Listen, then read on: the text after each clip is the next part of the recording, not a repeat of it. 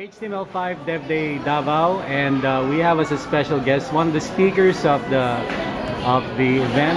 His name is Mr. Bob Reyes, and he's um, a representative for Mozilla Philippines.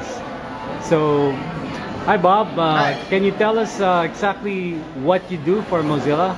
Uh, basically, I'm a Mozilla representative. Uh, I represent the Philippines to the Mozilla HQ, and I represent Mozilla HQ here in the Philippine community. Okay, um, your talk today had to do with Boot to Gecko, the Firefox mobile OS. Can you tell our listeners, our viewers, a little, little something about it?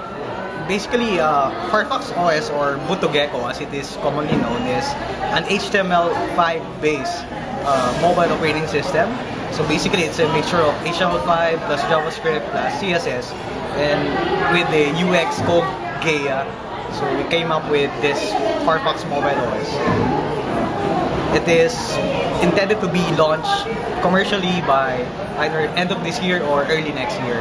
And Telefonica in Brazil is the lead carrier for this project. Okay, but can people now start playing around with uh, Boot to Gecko? Yes, the source code uh, and ins- instructions on how to install and test Boot to Gecko is readily available at the Mozilla website. Uh, though Boot to Gecko is tested only on the Samsung S2 and uh, Galaxy Nexus S Okay, currently. that's cool. Do you have a, a sample that we can see? Yes, I have the device with me here. There. Okay, so here's the device.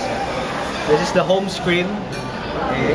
To show that it is basically created using HTML5, I can view the source code and it will show you the HTML source. There.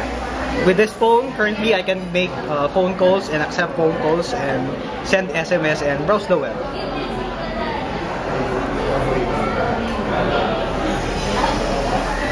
Okay, so when when did you say the first Firefox OS phones will be coming out?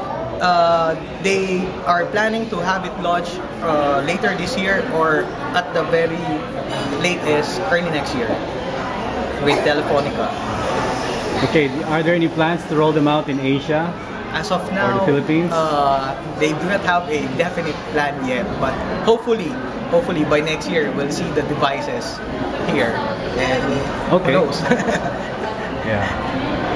So um, so that that's an HTML5 phone, and we just concluded an HTML5 workshop. Uh, what did what did you think of today's workshop, of today's HTML5 Dev Day? Uh, what what do you think were the highlights, and uh, what, what what are your general impressions of it? yeah, basically the lineup of the speakers, we have of course Mozilla, we have Google and the guy from Pick Live and the Mobile Tao. Uh, it's a very good lineup. Uh, I had learned so much in in, in the from the speakers and I guess this as well as the attendees, they had learned so much when, uh, on the benefits and the advantages of developing into H- uh, using HTML5 for mobile and web devices. Okay, great. Uh, okay, Phil. So thanks a lot, Bob, and uh, hopefully you can join us for other events later on for the Smart Developer Network. Thank you to them. Thank you.